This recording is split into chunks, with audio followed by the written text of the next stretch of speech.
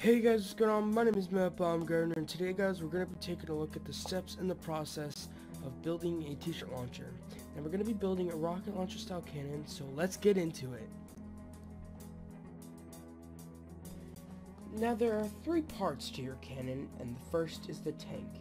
This involves the end cap, which you will put a bike valve in to add pressure.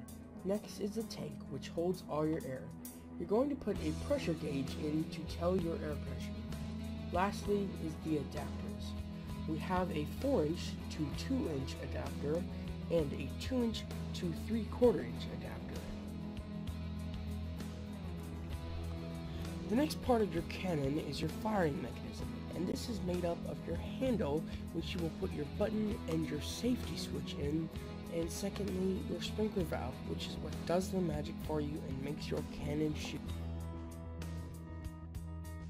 The last part of this cannon is the barrel. The barrel is made up of the adapters, which we have a 3 quarter inch to a 2 inch adapter, and a 2 inch adapter to a 3 inch adapter. And the final part is the actual barrel itself.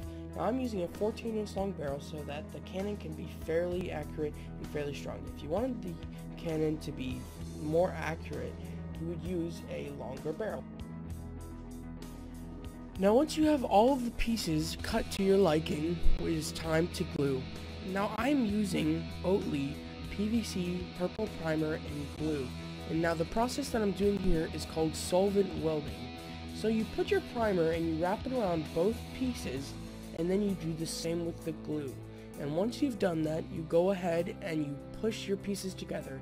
Now be careful to, as you put your pieces together, you twist them to a 90 degree angle.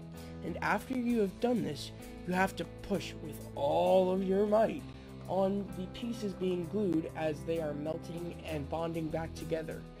And the reason why you push is because as they are melting and bonding back together, they become hot. And when they become hot, they're expanding and they are pushing. And sometimes if you don't push, they will expand outwards and they will not work properly. So once you're done with this, you have to wait for a long total of 24 hours and then your chemical bond will be good to go.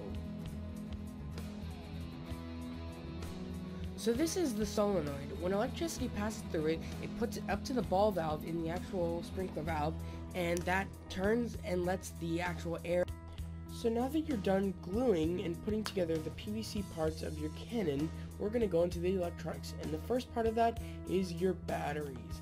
Now I've connected positive to negative and you use 9 volts to power your whole thing. You want to use 2 because 1 is just not powerful enough to get that signal. And the next part of your cannon is your switch. Now I like to call this a safety switch because whilst the switch is on, you cannot have any electricity pass through it so you will not be able to fire the cannon. However, once you turn it off, you will be able to fire the cannon as much as you want. Now the last part before you go back to the solenoid is the button. Now if you have both 9 volts in and you have turned your safety off, you can push this and you should hear a clicking sound as long as you have no air in your cannon. If you hear this clicking sound, that means your cannon is working. Now like I said, with your electronics, before you solder them, you want to do a dry run.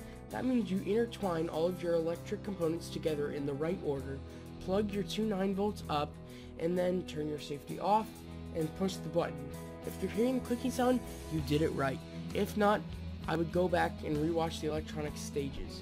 Now that you've done this and you know it works, you're going to go into soldering. So you go to a soldering station, turn it on, and you solder all your parts together. Now I'd be very giving with the amount of solder you use, and I'd be very thorough with how you cover the wires because it has been known to in the past when we've soldered them our actual solenoid will stop in the middle of firing so be very thorough when you solder your things together and it should work fairly so as you can see I've gone ahead and I've put all of the wiring into tubes I have also drilled holes for the button and for the safety switch. This is just something that I thought preferably and that I thought really looks nice.